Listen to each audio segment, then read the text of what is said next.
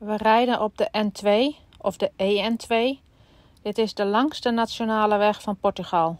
En ook de langste weg in Europa. We zijn de N2 begonnen in Faro.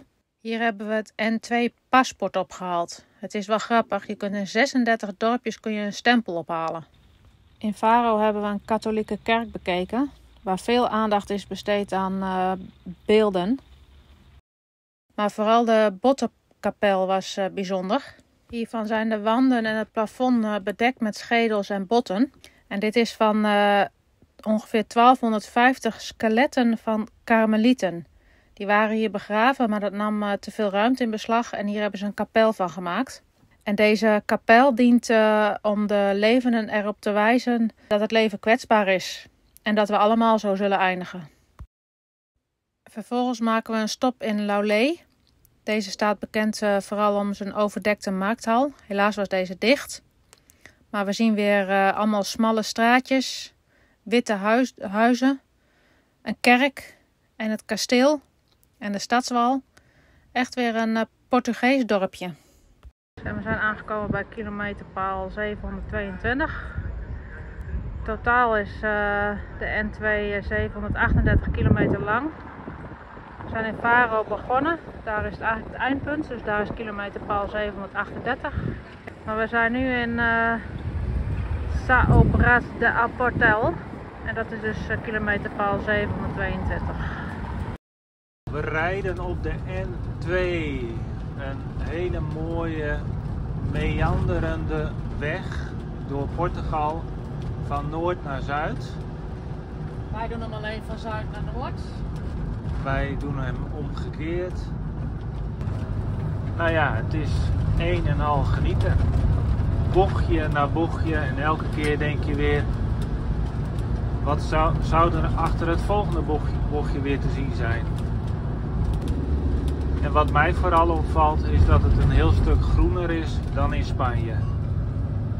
Maar dit is wel de moeite waard. Nou, Nienke die uh, jakkert uh, door het landschap. Net niet uh, dat ik bij Max Verstappen aan boord zit. Kijk al mooi geel. Oh, prachtig.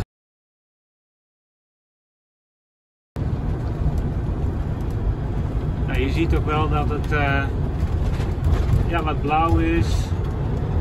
Een paar wolkjes. Dus van alles wat. Maar het is een bijzonder mooie route. Vooral het bocht, bochtige. Nu zijn we weer wat op een hoger punt. Je ziet dus ook water. Dat hebben we in Spanje ook heel weinig gezien. Het is in Spanje gort en gort droog. Nou, dat is toch wel een groot verschil hoor met Spanje. Echt significant groener.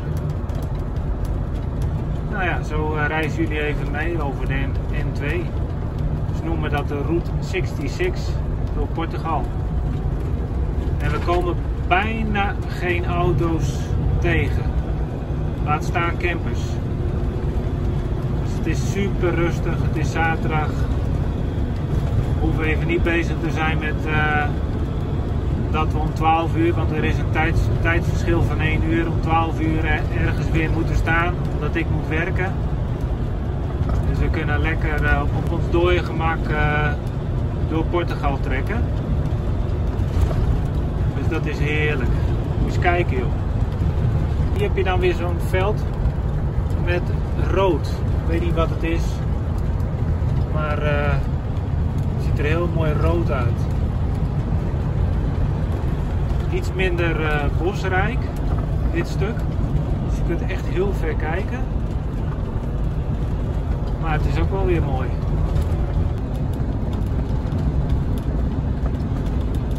Links op de lucht.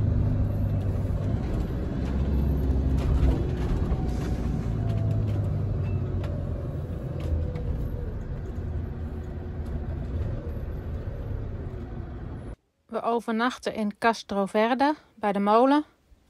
En hier zie je allemaal uh, geverfde, verschillende gekleurde geverfde huizen. Erg vrolijk.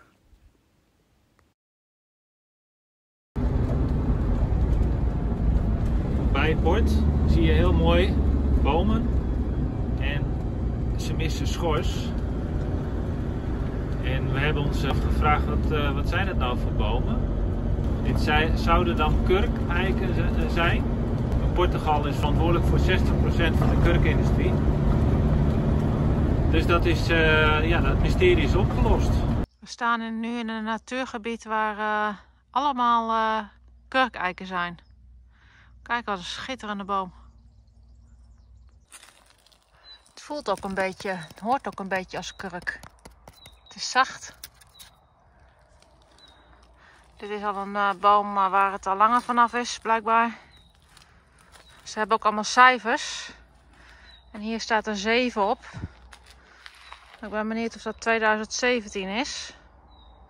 Een kurkeik moet eerst 25 jaar groeien voordat hij ontschorst mag worden. En als hij ontschorst is, dan uh, groeit het schors in uh, eh, 9 jaar weer aan. Dus elk 9 jaar uh, wordt er ontschorst.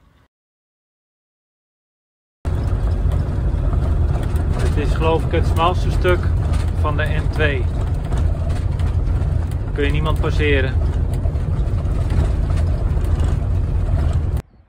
We staan midden in de natuur.